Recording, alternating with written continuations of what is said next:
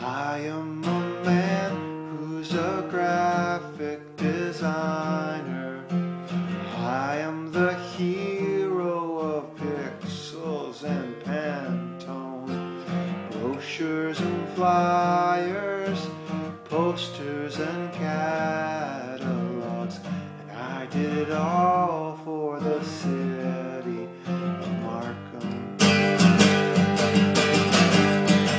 Ajay!